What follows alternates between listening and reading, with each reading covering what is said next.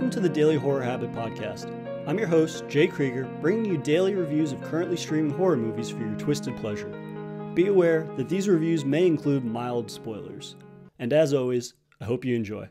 Today's review is of the deep sea dread of Johannes Roberts' 47 Meters Down. Currently streaming on Netflix, 47 Meters Down focuses on sisters Kate and Lisa on vacation to Mexico, who decide to spice things up by cage diving with killer sharks. What begins as thrilling turns terrifying as their cage detaches from the boat, plummeting the cage trapped sisters 47 meters down to the ocean floor. As sharks stalk them, the sisters must devise a way to escape before their air tanks run out.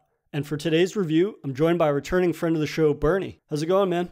Going very well. How about yourself, buddy? Not too bad. Not too bad. I'm I'm excited to kick off my first guest episode of uh, July with one of my favorite shark movies. So I was thrilled that you picked this. Yeah, you know, um, I figured that uh, you know the way that this year is going, we should kind of choose something symbolic for July, and what better than 47 meters down? Yeah, absolutely. Uh, so since we're both a fan of this movie and shark movies in general, what about 47 meters down kind of stands out amongst the other uh, crowds of shark movies that we get every year? You know, I you can you can talk about Johannes Roberts. Uh, you could talk about the supporting cast, which is wonderful, obviously, but Moore really just stole the show here. mm-hmm. uh, but uh, you know this this movie has a kind of a weird twist on the the shark genre right?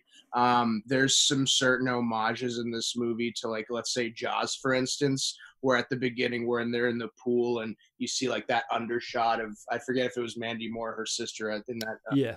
holds um, mm-hmm. like you know scares her she drops like the red wine glass into the water there's that red uh, you know hue basically in the pool water. So it, yeah you know, obviously alluding to some kind of, you know, attack in that sense or some coming forthcoming attack.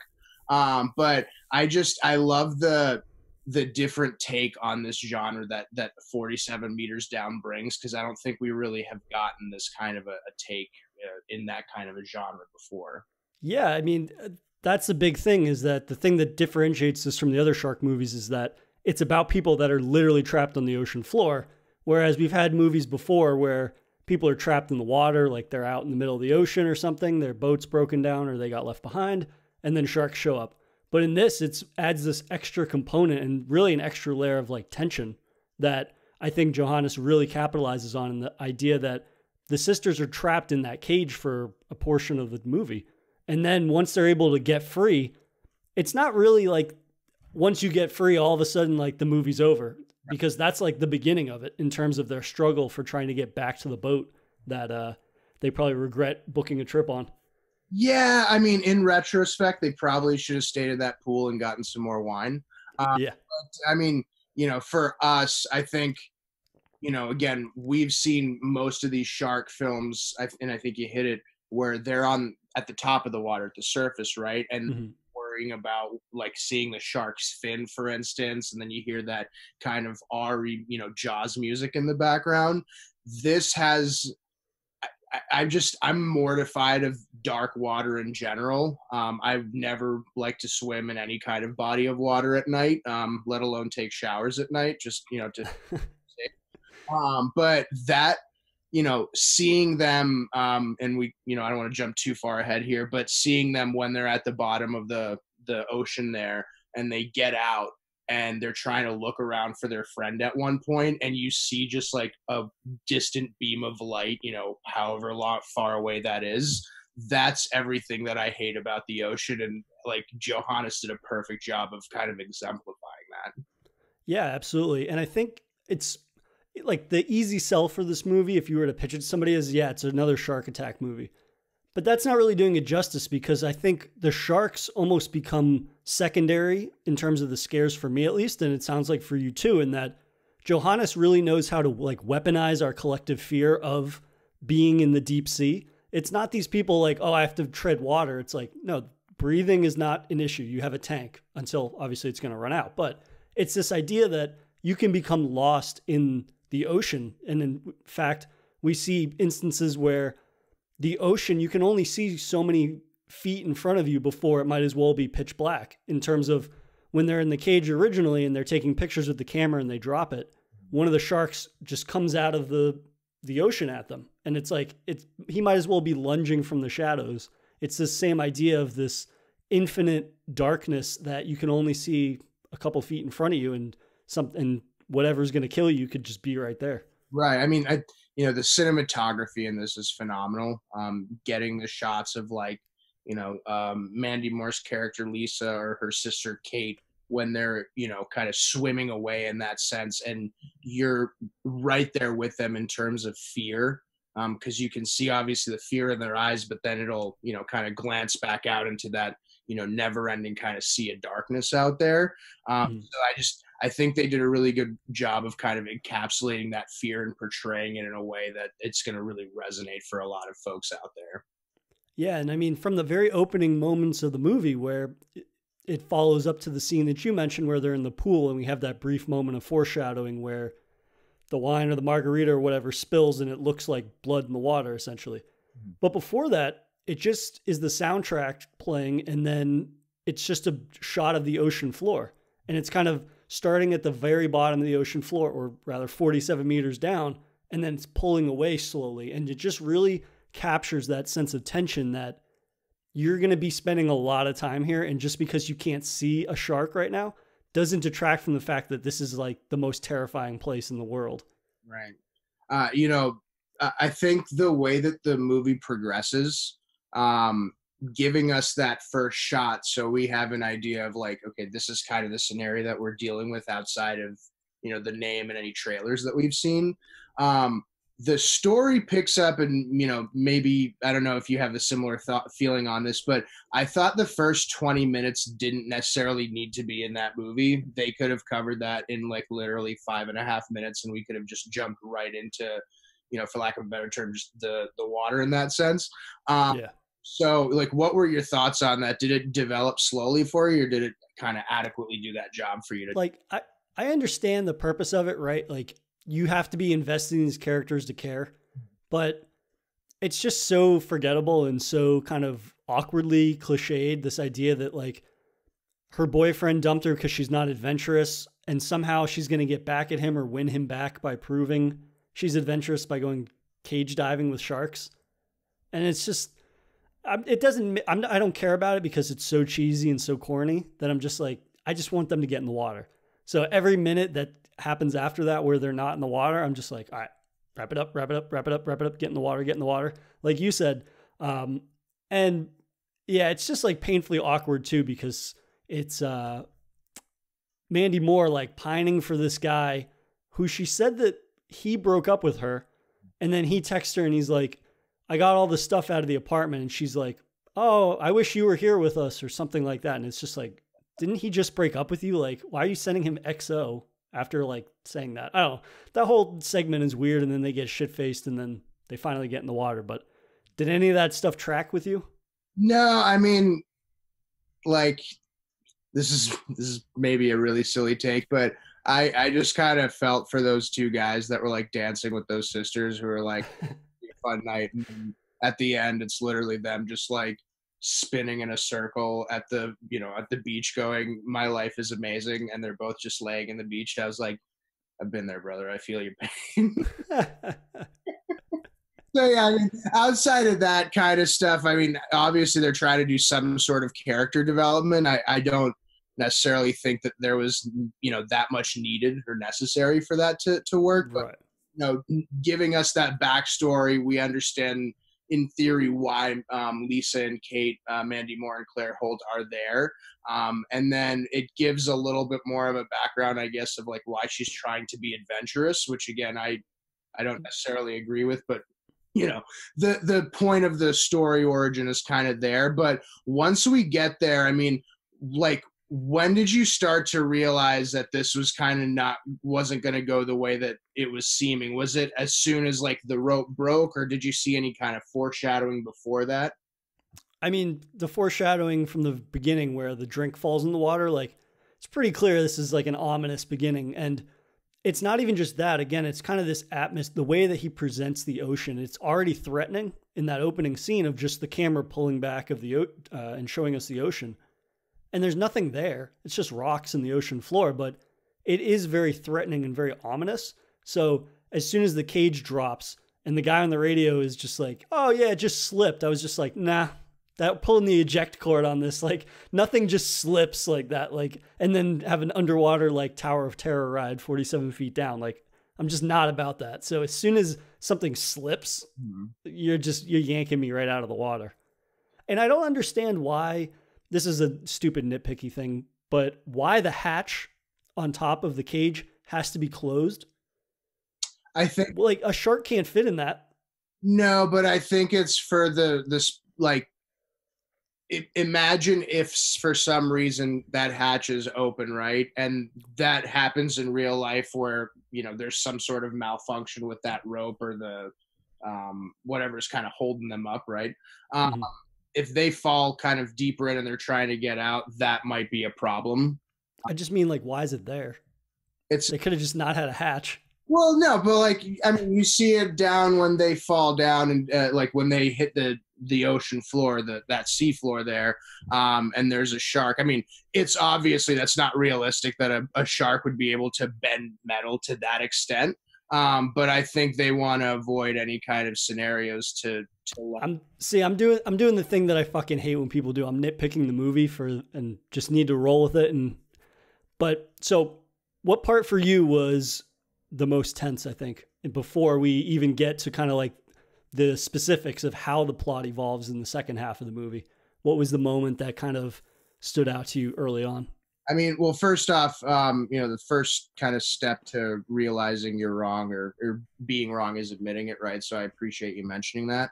No um, problem. it's part of the program, I'm um, but the the scene for me was probably I, I kind of alluded to earlier when um, when her sister is like losing oxygen and they're and Mandy Moore has to you know go out basically and try and reach uh, I forget if it was Javier or Luis that that went mm-hmm. with that flashlight but yeah.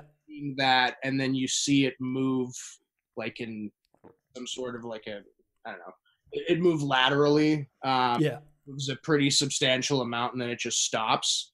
And again, I think to us, we're thinking automatically a shark because we've encountered so many at that point, right? But to them, they have no idea. They might just be thinking, okay, these are professional divers. They're just trying to find us, right? Um, but when there's like a moment basically where she reaches like uh, the the like shelf basically of that like area that they're sitting on, right? Um, and you can you can't see the bottom, and mm-hmm. you don't know how far you have to kind of yep. cross to get to where that light is. I I wanted to die, and I'm you know pretty high above ceiling. Yeah. uh, so I, I that that entire scene like mortified me. I that's one of my nightmares in general. Um, so I think again the cinematography for that and the way that Mandy Moore acted it, uh, I think it, it was just a plus all around. Yeah, I mean that scene. I think this is the third time I've seen this movie. That scene makes me shit myself every single time I see it. The part where they assume, and I even referred to it earlier as the ocean floor but 47 meters down is nothing in terms of like the ocean and the vastness and the emptiness of the ocean. So when she gets to the edge of that cliff and looks down and just sees nothing, like that is my pure, like literally, I get, have a, it's like you're uh, going over a hill on a roller coaster or a big bend or whatever, and then there's a drop and your stomach just drops. Like that hits me every single time when it's just this idea that if I stop kicking my legs or flapping my arms or whatever, treading water, I'm just going to sink forever until this air tank runs out. Like, that's such a terrifying idea. And the fact that Johannes even builds off of the that idea of the emptiness when she finally gets the light, but then she's like looking for the shark and she starts spinning around in circles and she loses track of where she is. Like the way that he's able to escalate tension to keep kind of like shattering the ceiling of tension and you always assume like oh it can't get any more tense than that and then he just builds on it that's something about this movie that i don't think gets nearly enough credit where a lot of people like I did a few minutes ago, where you're kind of like nitpicking stupid little things or like the characters aren't that great or whatever. His ability to make tension out of elements of deep sea movies or shark movies that not a lot of directors do for whatever reason or aren't able to capitalize on as well. It's just such a remarkable trait of this movie that I don't think gets enough credit. Yeah, and I mean, there's there's very few movies where I think everybody collectively will like audibly say something. Um, there that was one of those mo- moments, especially when she's kind of circling around on that little kind of rock in the middle of nowhere, basically, right? Mm-hmm. I, I mean, I literally I had my hands on my head and I was saying, "Oh God, oh God!" Like it those are kind of the moments and that's i think what accentuates or, or, exemplifies movies especially in this kind of a genre where you can have that sort of kind of a a, a fan reaction or a viewing reaction to it um, mm-hmm. even though again you know i've seen this two or three times now too that that moment always gets me but even that point when she kind of is swimming back and you can see like the sweat on her forehead and like the fear in her eyes and she's like trembling you know kind of calling out to her sister and mm-hmm. Runs into another one of the divers who says get out and he can't even finish that sentence before a shark gets him. It again i think you you hit it on the head where the t- the suspense is always building on itself. And even again when you think you hit a crescendo all of a sudden she's you know trying to help her sister out and then her sister ends up getting killed. Um like it's just eh, this movie has so many of those moments where again i you know i'm anywhere from between like screaming at the tv not to and also like you know curling up and throwing a blanket over myself mm-hmm. so it's like there were just so many of those moments that i loved in this movie to to make it that great yeah, for me, another moment that comes before that, I think, is when um, Claire Hoyt's character, Holt's character, Kate, um, she wants to get out of the cage initially, but they can't because there's uh, the winch basically fell on top of the cage and she can't move it. And so the only way that she can climb out of the cage is if she takes her mask off underwater. And that, again, is one of those scenes where, seeing this like three times, I hold my breath the entire time she's holding her breath because it's just he's weaponized my worst nightmare. This idea that, oh, I can, I'm fine. I've got a tank. I can breathe. If I want to live, though, I have to take that mask off. And if I don't get that on, or if I don't take a big enough breath, I'm gonna fucking drown. Like it's he taps into my such a primal fear that I have, which I mean I don't go deep sea diving or anything, so it's an irrational fear. But his ability to kind of weaponize this fear of mine that I just I, I never think about things like this in Jaws or uh, Deep Blue Sea or The Meg or whatever. All these other shark movies. It's more an emphasis on like avoiding the shark, whereas in this movie it really is the ocean is this ever evolving threat in a way that it's not sinister. It's just the reality of what the ocean is, and his ability to kind of take that and make that scarier in some instances than the sharks themselves is really great because then we have the second half of the movie, which is much more shark oriented, be like you never get tired of them basically. Right. Well, because again, he always has like another sprinkle or another kind of a pivot where he can scare us or he can progress the film in a way that is, you know, shocking but satisfying. Have you mm-hmm. ever seen Open Water by chance? I have not. Um, that's a really good movie, and it's it's another similar one to this in the sense of you know, though it's based on a true story where two people essentially got left behind. Um, mm-hmm. Now, the outcome of it is still, in theory, um, something that's up for debate, but um, the consensus is that they're dead.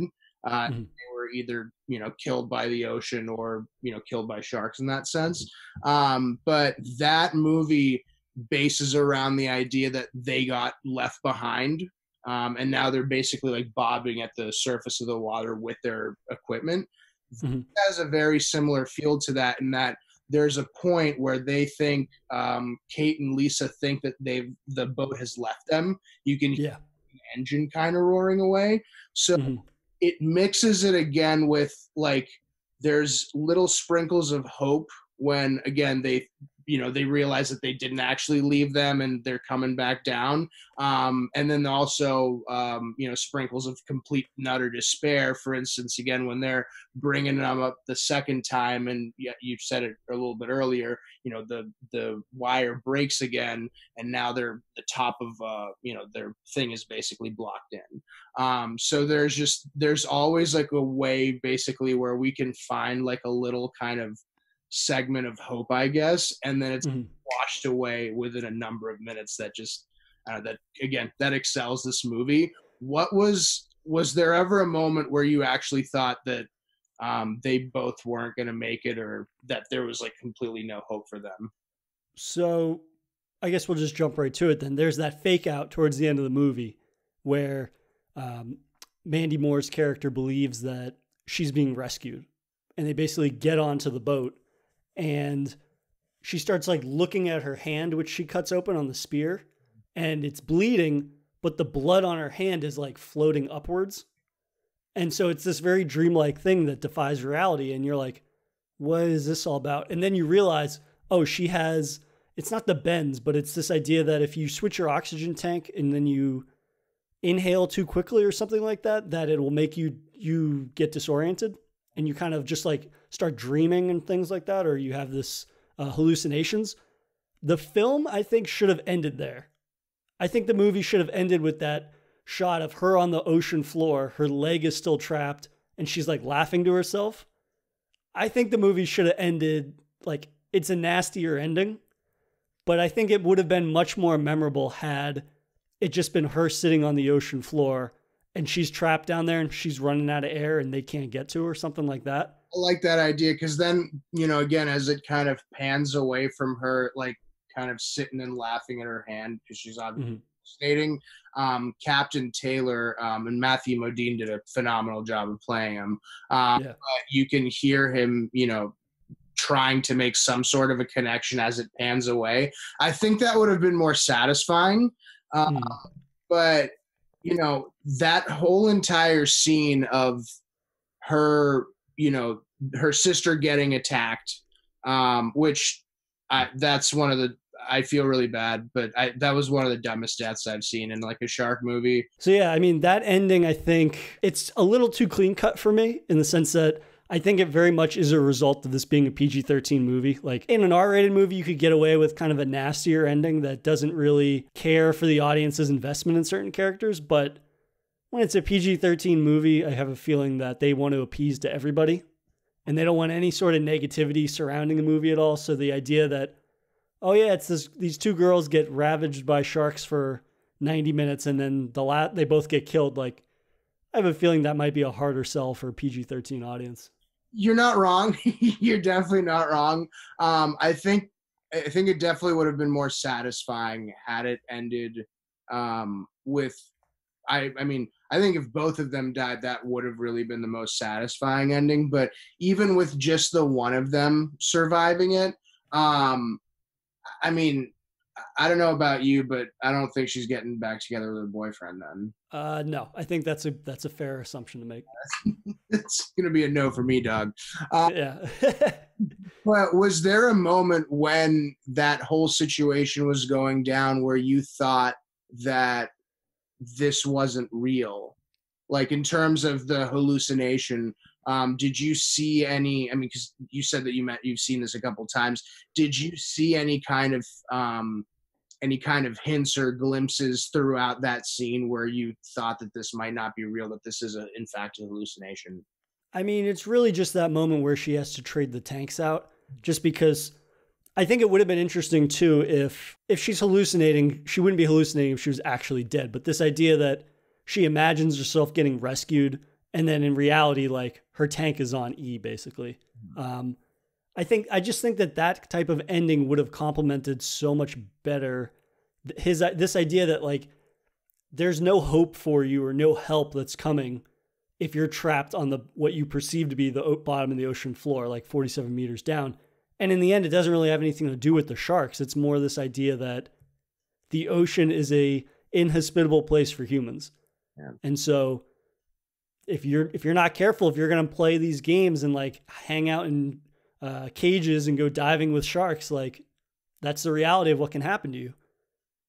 I mean, I will say this: I have swam with sharks before. Um, off the no, you haven't. You're a liar. I swear to God, I once actually, ironically, in Mexico, I fed sharks in a cage.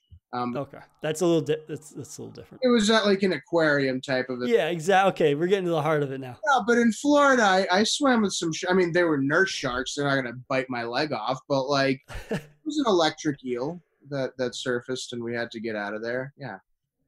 I, I I'm just the the entire reason that I chose this movie was to actually tell you about that experience, and I feel a lot better for it now.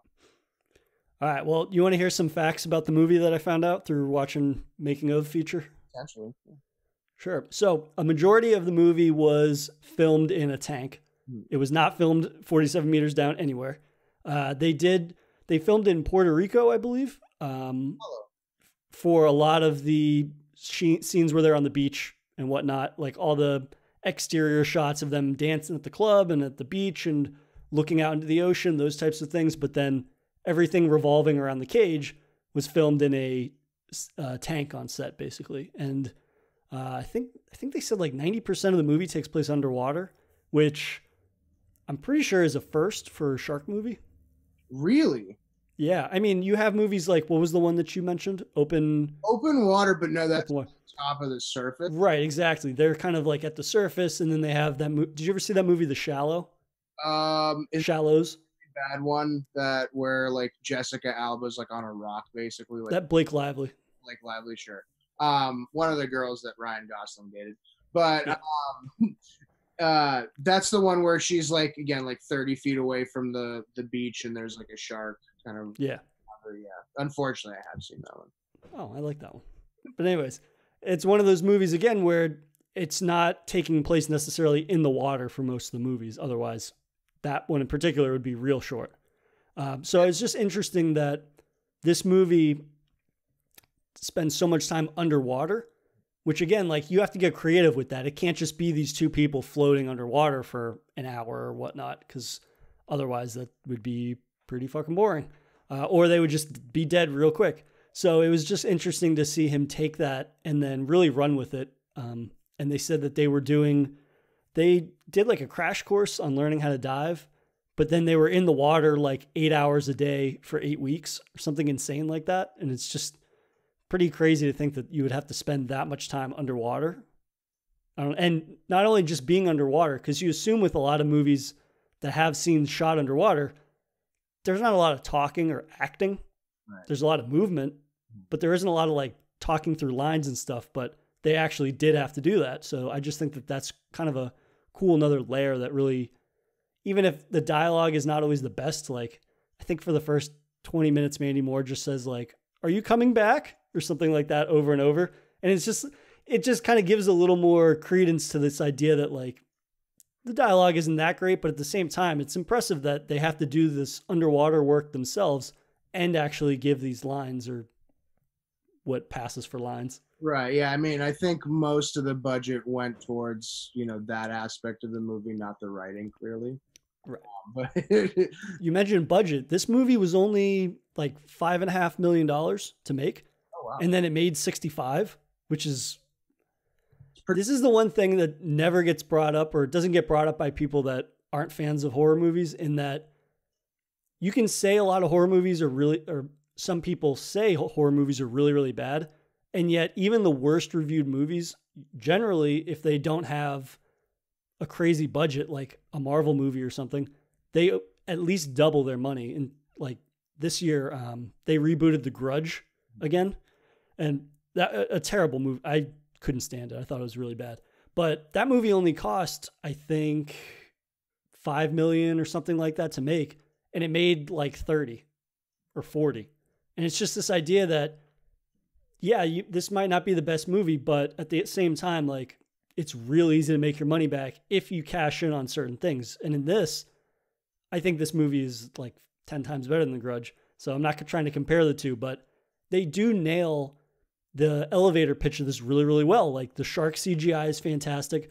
The underwater stuff is really, really well done and really well choreographed.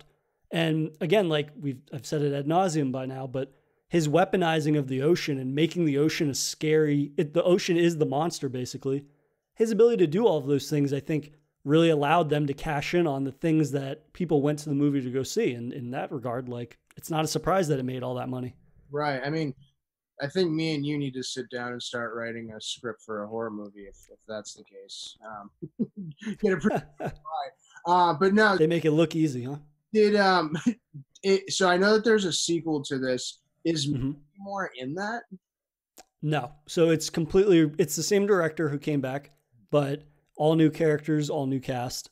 Um, I don't know if it takes place in Mexico. That might, I don't know if that is the continuing thread or not, but um, it definitely has sharks in it. And it definitely, it has a new setting and a new environment, which not a lot of people were keen on. The second one, I definitely don't think is as good as the first one, but I think in terms of a sequel to a shark movie, which, I mean, how many times, sequels already have enough not working in their favor to make them difficult to make. And the idea that you're going to do a shark sequel is just like, I don't really understand why you would think that would work. But in this, I think there's enough creativity that it distances itself from the original in not the best ways always, but in terms of just a premise. Like it's not round two in the cage. They kind of swap out that metal traditional cage for an underground ruin like uh, ancient civilization ruins that the new kind of crop of girls get lost and trapped in. Mm-hmm. So it's another cage, but it's not the same kind of premise or the same scenario as the first movie, which for me, I think I had a lot of fun with, mm-hmm. even if it's an inferior film in a lot of other g- regards. Well, I mean, the fact that it doesn't have Mandy Moore already, it's it's well, yeah. I mean, um, but was there, you know, you have a pretty good, I think, uh, you know, kind of a library of, of knowledge on movies, obviously. Would you have chosen anybody else to play the role of Kate or Lisa, or did you feel that they did a pretty good job of selecting that cast? No, I think that they were, I think that they were fine. I mean, again, I don't think the script or anything like that is a reason that I would ever suggest this movie. But at the same time, I feel like if you had bigger names or if you had more prominent actresses, there might be more of an incentive to include more dialogue, which then would kind of detract from what we actually want to get out of this movie. Like, this is the type of movie you go into and it's like, I want to see people get eaten by sharks and I want to be scared of the ocean. And it's like, they cashed in on both of those things. And to deviate from those in terms of like trying to develop the characters of the story, which I just didn't care about. And it's not something that I was necessarily looking forward to with this movie or looking for in this movie, then I think it's better to have these two actresses who are well known and perfectly fine, but they're not, it's not like A-listers. Do you know what I mean? Right, right. I mean, I actually, that's a really good point. Yeah, because if it would have been like, if it would have been a more of a kind of a starlet, I guess. I mean, not nothing against Mandy Moore, but I don't know if she's necessarily an A-list actress at this point. Uh, right. Yeah, you probably would have needed at least like another five or ten minutes of dialogue, and I couldn't hear any more about the the boyfriend. It, it's a different movie if it's Halle Berry and Jessica Alba at the bottom of the ocean. You know what I mean? Like, there's just more of an incentive to have them just have more not screen time, but just have more of this dialogue back and forth and what we got the little bit that you do get during the movie not to harp on it but it just doesn't do anything for me it's kind of just exactly what you would expect it to be um, well i'll tell you this much if there's a 49 meters down a, a threequel or whatever it's called and it has halle berry and jessica alba whoever whatever studio is making that they have my 995 i mean i would show up for it i'm not saying i wouldn't show up for it but it's this idea that again I just don't want anything to detract from what you go into these types of movies for. So it's kind of like why, I don't know. I guess I was going to use zombie movies as an example, but those are so character focused now that they made World War Z and that had Brad Pitt in it, and you can't really get bigger than him. But this idea that you want to go into certain types of like creature features like this, but you don't want to have an actor or an actress that is deviating a lot of attention from the reason that you're supposed to be there for the or why you showed up for that movie basically if you know what i mean mm-hmm. no i agree man and um, one of the you know kind of one of the last things that I, I took away from this movie was um, and i think you, you mentioned it earlier the the graphics on those sharks mm-hmm. they didn't see i mean obviously we understand that they're fake they're cgi but they look pretty darn good for cgi sharks especially in comparison to you know i don't want to I don't want to shit on Game of Thrones, but some of the stuff that we saw in season eight with their CGI effects were mm-hmm. not very realistic looking. Right. Um, not to necessarily compare dragons and sharks, but uh, it, uh, they just they looked very very realistic, and especially for how big those sharks were. Uh, mm-hmm. Um, I, I, think whoever did that cinematography or the, the, CGI effects, I mean, they, they definitely got their money's worth for it. Yeah, that's a great point because we know that CGI can make or break movies or shows really, really easily and really quick. And on paper, this movie could have very easily been like a sci fi channel Saturday night movie. It would just have really, really shitty CGI. And the fact that this movie was given the attention to detail and making sure that CGI was as pristine as it was, it's probably also indicative actually of why it had such a limited budget. Like the budget itself they're in a tank and they did some exterior shoots in uh, a foreign country, so they weren't crazy expensive to begin with.